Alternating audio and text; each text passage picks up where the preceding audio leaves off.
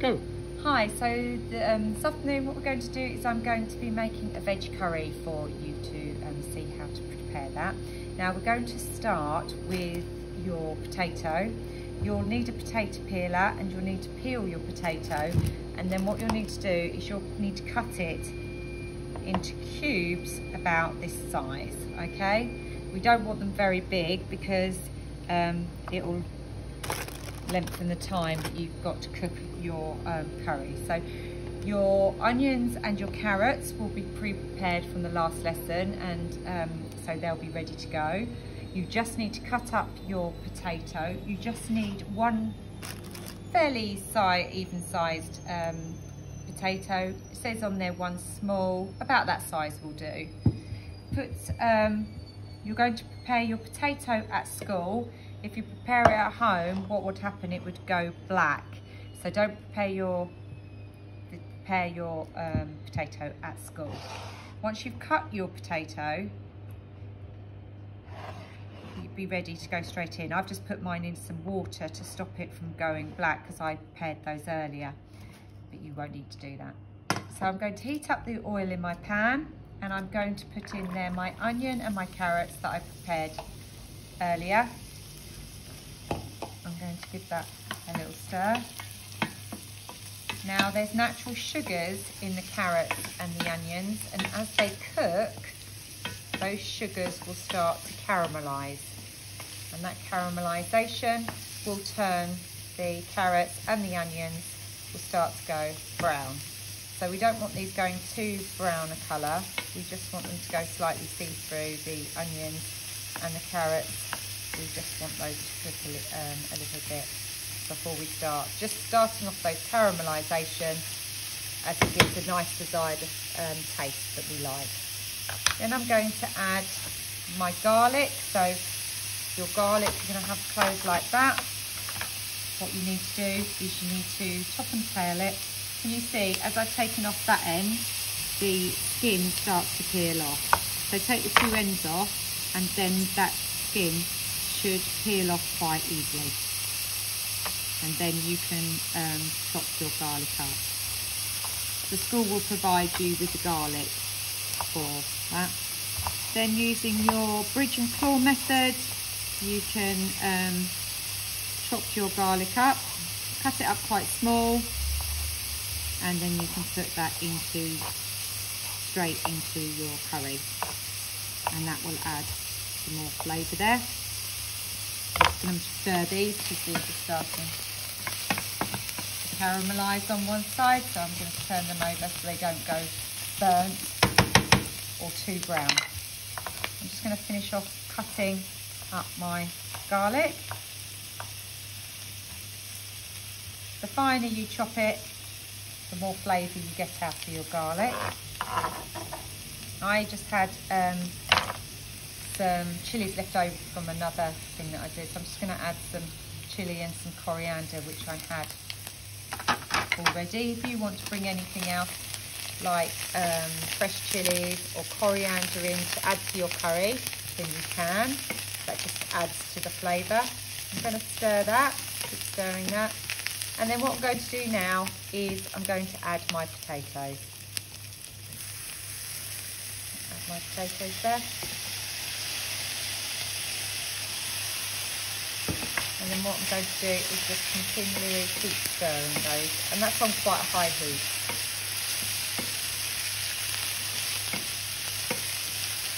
And as you can see the onions have started going a bit more see-through colour and the carrots are starting to cook as well and that's they're caramelising now and that lovely sweet flavour comes out in the vegetables while they're cooking. Next you're going to need some um, of your chickpeas. So you will need to drain the chickpeas.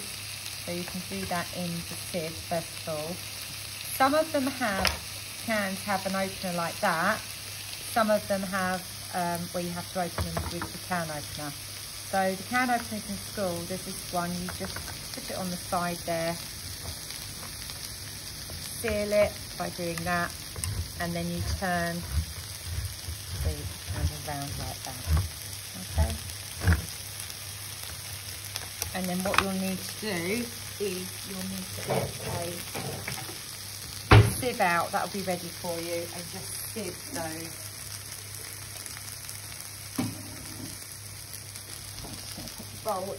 underneath and bring them back to where I'm working so they don't go all over the floor. I'm going to need to keep stirring this because this is starting to turn brown. We don't want it to burn. As you can see, it's starting to turn colour now. And that's because the sugars are starting to caramelise. So that's your caramelisation process happening there.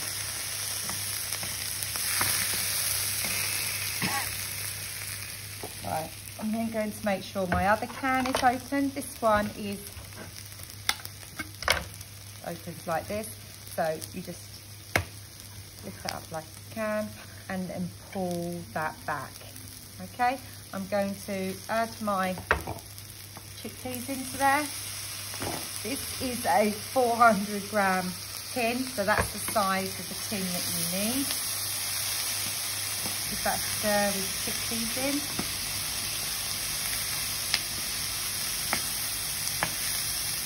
I'm going to add my tomatoes now. These are chopped, so you can get chopped ones, and then you can chop them up with a spoon once they're in, if they're not pre-chopped ones. And then you just stir that in, like that. And you can see lots of different colour in there now, so it's a nice colourful dish. okay and now the liquid is starting to cook the vegetables and the potatoes. So we need to add more liquid to that to get the potatoes to cook properly. They will cook better if covered with water. So what I'm going to do now is I'm going to add 300 oh no sorry before I add the water I need to add my curry paste. So I'm going to put a spoonful of um, curry paste in there. I'm going to do two spoonfuls to this. You can use your own mix. If you've got a good secret family recipe, you could bring in your own mix of herbs and spices to add to your curry. I've just used a mild um, curry sauce, uh, curry paste, sorry, there. You stir that in, once that's stirred in, sorry, you can then add the water. And there is your curry.